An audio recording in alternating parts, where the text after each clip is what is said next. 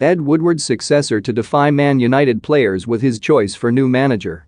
Manchester United chief executive Richard Arnold is set to snub several first-team stars and pursue his own no-point-one target to replace Ralf Rangnick at the end of the season. Arnold has stepped into Ed Woodward's shoes and will be tasked with the job of hiring Ole Gunnar Solskjaer's permanent successor, with Rangnick set to move into a consultancy role in the summer. Reports earlier this week claimed that a clutch of first-team players were championing the credentials of former Tottenham boss Mauricio Pochettino, who appears destined to leave PSG at the end of the season. Arnold, however, according to The Sun, is said to favor the credentials of current Ajax boss Erik ten Hag, who also seems likely to be on the move in the summer. Rangnick is said to be in agreement with Arnold, and the pair will pursue the 52-year-old who they view as the perfect candidate to restore United to their rightful place among the elite. The interim boss's honeymoon period has long since ended and the German was left frustrated again on Saturday as Southampton became the latest side to profit from United's inability to hold onto a lead.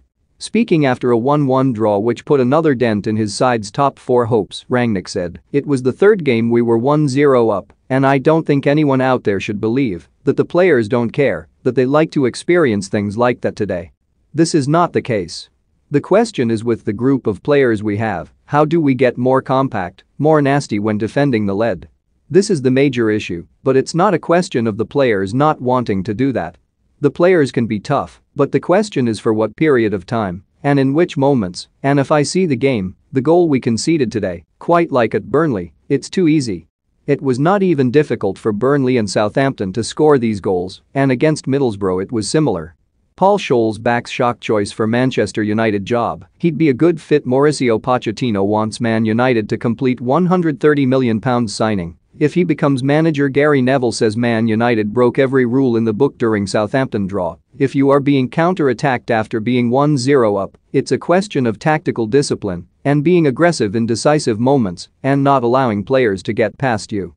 We are conceding fewer goals than we did before, our average is less than one goal, it doesn't help if you don't score more than one goal.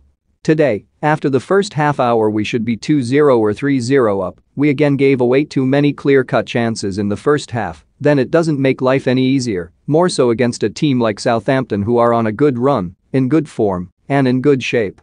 More Luke Shaw in scathing assessment of Manchester